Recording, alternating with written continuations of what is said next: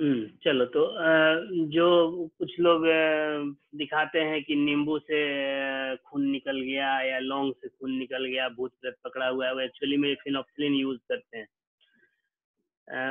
बेवकूफ़ बनाने के लिए लोगों को भरमाने के लिए। उसके बाद मिथाइल ऑरेंज है ये नोटेशन ऑफ़ कर देते हैं। मतलब मौका मिलना चाहिए एक भी सेकंड नहीं कि अपना कारीगरी दिखाना स्टार्ट कर देता है। Sir methyl orange orange colour का होता है एसिडिक मीडियम में वो रेड हो जाएगा बेसिक मीडियम में येलो हो जाएगा। टर्मरिक सोल्यूशन के बारे में बता ही चुके हैं।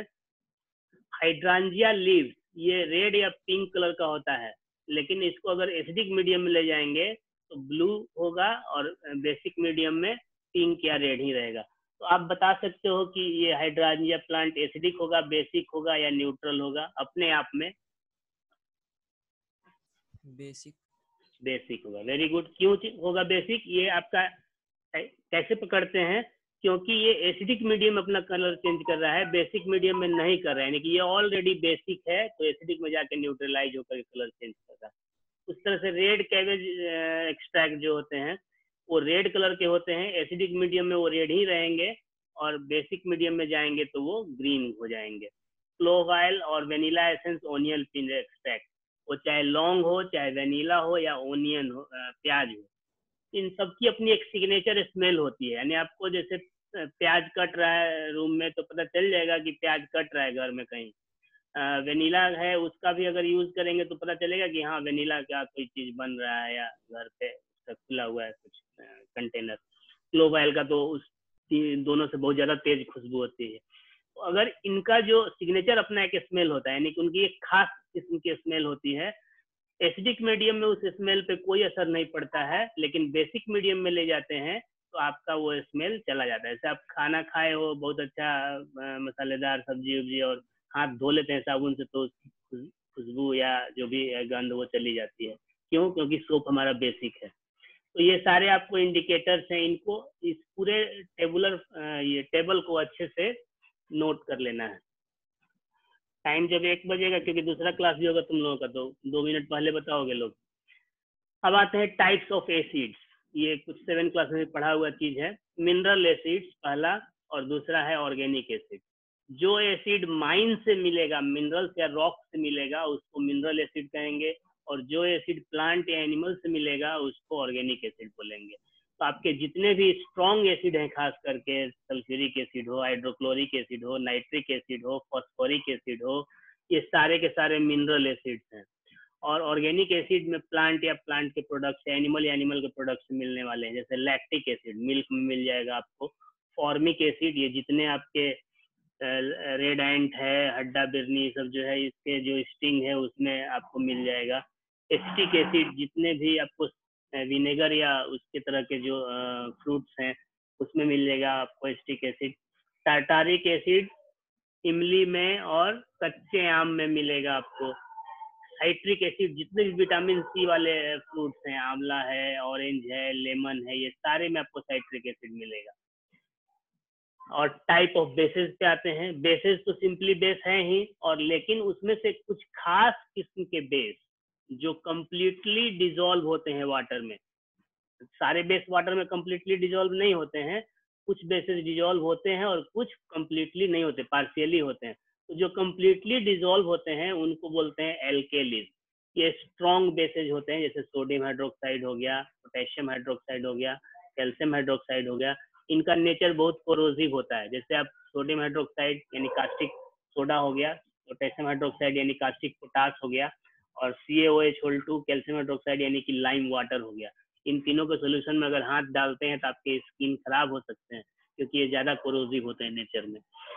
और सारे, एक क्वेश्चन आया था एट क्लास में कि all alkalis are bases but all bases are not alkalis why explain it तो सारे एल्केलीज बेसिस है क्योंकि सारे में ओ एच माइनस आयन होता है, लेकिन सारे बेसिस कंप्लीटली सोल्यूबल नहीं होते हैं वाटर में, इसलिए उन सबको एल्केलीज नहीं कह सकते। अब आते हैं हम लोग properties of acids physical properties और केमिकल प्रॉपर्टीज़ इन दोनों में क्या डिफरेंस होता है? कौन बताएगा?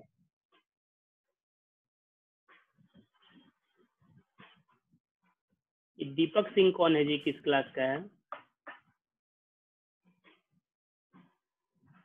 दीपक सिंह किसी क्लास का है? चारों सेक्शन में से किसी का? कोई बच्चा। है? नहीं है ना तो बताओ इसको।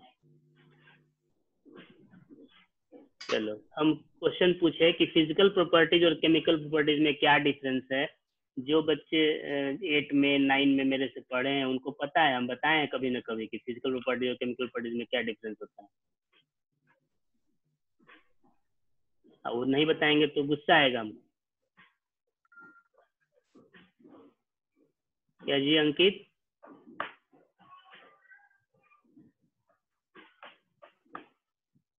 नहीं पता।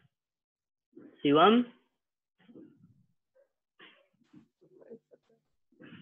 सर एक बार क्वेश्चन रिपीट करिए ना। डिफरेंस क्या है? फ़िज़िकल प्रॉपर्टीज़ और केमिकल प्रॉपर्टीज़ में क्या डिफरेंस है?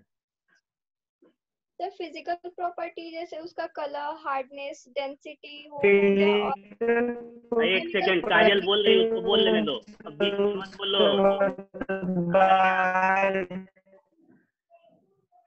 बोल रही है काजल बोल लेने दो। हाँ।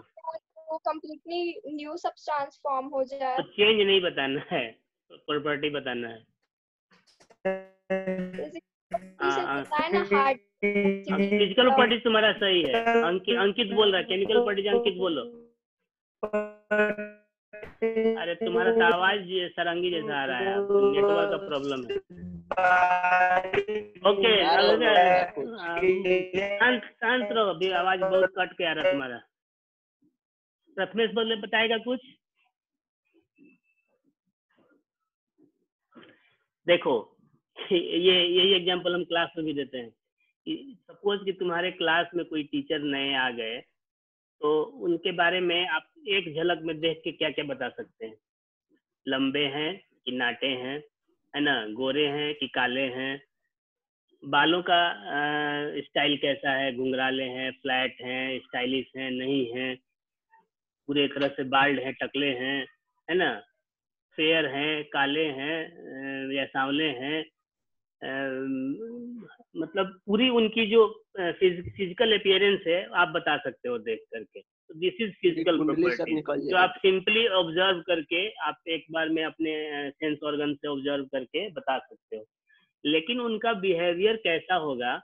ये सिचुएशनल बिहेवियर यानी कि अब अब कोई बच्चा बदमाशी करेगा तो वो उसको सिर्फ़ एक बार डांट के छोड़ देंगे या डांटेंगे भी नहीं इग्नोर करेंगे कि दम भर कूटने लगेंगे। ये तो आप नहीं बता सकते ना वो तो ऐसा सिचुएशन आएगा तब ना पता चलेगा। तो एक्चुअली ये जो बिहेवियर चेंजेज है। वो हमारे हार्मोनल चेंजेज के कारण होता है। जो हमारा बिहेवियर है जैसे कुछ लोग तो देखोगे कि कोई खुशी की खबर आ गई तो नॉर्मल रहेगा अच्छा चलो ठीक है दस लाख मिल गया कोई बात नहीं। चलो मिल गया तो अच्छी बात है। लेकिन कुछ लोग पगला जाएगा, एकदम मतलब पागलों की तरह बिहेव करने लगेगा। कुछ को हँसते हँसते आँख से आँसू आ जाएगा। तो दीज आर हार्मोनल चेंजेज हमारे बॉडी में जो हमारे हार्मोन्स एड्रेनलिन खास करके हार्मोन जो बायोलॉजी वाले हैं, अच्छे से बताएँगे, उस हार्मोन के कारण ये चेंजेस होते हैं। तो दीज आर केमिकल प्रॉपर्टीज़ कोई आदमी को देखो कि बारिश में गया दो मिनट के लिए भीग भींग गया तो बीमार हो जाता है, सर्दी खांसी, जुकाम हो जाएगा उसको। और कोई जो है वो दिन भर बारिश हो, धूप हो ठंडे हो, दिन भर खेतों में काम कर रहा है, उसको कुछ नहीं हो रहा है, वो बीमार नहीं हो रहा है। तो दीज आर केमिकल प्रॉपर्टीज़ उसके बॉडी में जो चेंजेज है या अलग अलग इन्वायरमेंट में वो चेंज को अडॉप्ट करने की जो क्षमता है दिस इज़ केमिकल प्रॉपर्टीज़ अब आप लिटमस पेपर एक लिए हो, उसको देख के आप क्या बता सकते हो? सॉलिड है लिक्विड है या गैस है?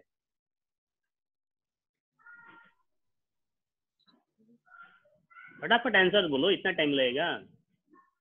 सॉलिड सॉलिड है। सॉलिड कलर क्या है? या तो रेड होगा या तो ब्लू होगा। लिटमस पेपर की बात हम कर रहे हैं तो या तो रेड होगा या ब्लू होगा। तो दिस इज़ Yes. उसका डेंसिटी क्या है? वॉल्यूम क्या है? साइज़ क्या है? These are the physical properties of that litmus paper अब उस लिटमस पेपर को अगर हम लोग ब्लू लिटमस पेपर है और एसिड में ले जाते हैं तो रेड हो जाता है। तो that is chemical property of that litmus paper वो क्योंकि वो केमिकल रिएक्शन के कारण हो रहा है दैट इज़ वो केमिकल प्रॉपर्टी हो गया तो उसी तरह हम लोग एसिड का पहले फ़िज़िकल प्रॉपर्टीज़ देखेंगे और उसके बाद केमिकल प्रॉपर्टीज़ देखेंगे sour taste acids are sour in taste is it physical property और chemical property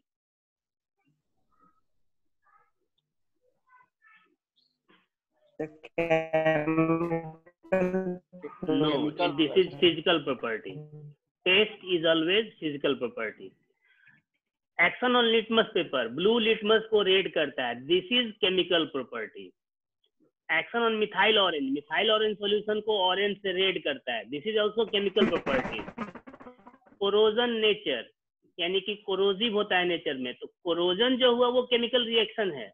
लेकिन उसका जो नेचर कोरोजिव हुआ वो फ़िज़िकल प्रॉपर्टी में मान सकते हैं हम लोग। Conduction of electricity electricity conduct करता है। ये हमेशा फ़िज़िकल प्रॉपर्टीज़ में आएगा। ठीक है ये आपको दिखाया भी गया है जैसे salt water is a good conductor of electricity Three Idiots का बहुत फ़ेमस डायलॉग है है ना? तो उसी तरह से acids and base solutions are also good conductors of electricity सिर्फ़ एसिड के ही नहीं बेस के भी जो सॉल्यूशन है वो भी अच्छे कंडक्टर होते हैं एसिड इलेक्ट्रिसिटी के। क्यों? क्योंकि वो फ्री आयंस प्रोवाइड करते हैं। अगर एसिड को वाटर में डालेंगे तो एच प्लस आयन मिलेगा। बेस को वाटर में डालेंगे तो ओ एच माइनस आयन मिलेगा। यानी फ्री आयन दोनों केस में मिलेगा। तो दैट्स वाई एसिड सोल्यूशन और base solution are very good conductors of electricity अब आते हैं प्योर केमिकल प्रॉपर्टीज़ पे। रिएक्शन विथ मेटल्स मान लो के पास तीन मिनट टाइम है, इसको कम से कम कर लेंगे। तो मेटल्स जो हैं डाइल्यूट एसिड के साथ रिएक्शन करके हाइड्रोजन गैस बनाते हैं और साथ में सॉल्ट बनाते हैं। ठीक है? लेक अच्छा ये जो रिएक्शन है, ये डिस्प्लेसमेंट रिएक्शन है। जैसे आप यहाँ पे देखो स्क्रीन पे। कहाँ गया? ये है जिंक, ये हमारा मेटल है और ये हमारा है सल्फ्यूरिक एसिड तो ये जो जिंक है, ये आपको हाइड्रोजन से ज़्यादा रिएक्टिव है। हम बताए थे पहले लेसन में कि डिस्प्लेसमेंट रिएक्शन का डिफिनेशन में कि the higher react the chemical reaction in which a higher reactive element whether it is metal or non-metal, it doesn't matter. A higher reactive element displaces a less reactive element from its solution. तो ये zinc जो है hydrogen से ज़्यादा reactive है तो ये sulphate के साथ खुद जुड़ गया। यानी आप देखो कि हाइड्रोजन को यहाँ से हटा दिया गया हाइड्रोजन अलग हो गया और जिंक जुड़ गया। तो this is the pure displacement reaction लेकिन ये तभी होगा जब ये ज़्यादा रिएक्टिव होगा, तब। यानी ये जो मेटल का रिएक्शन करा रहे हैं वो हाइड्रोजन से अगर ज़्यादा रिएक्टिव होगा तभी ये रिएक्शन होगा। अगर ज़्यादा रिएक्टिव नहीं होगा तो रिएक्शन नहीं होगा। आप जो चांदी के या सोने के गहने पहने हैं उन पे एसिड का रिएक्शन होगा या नहीं होगा?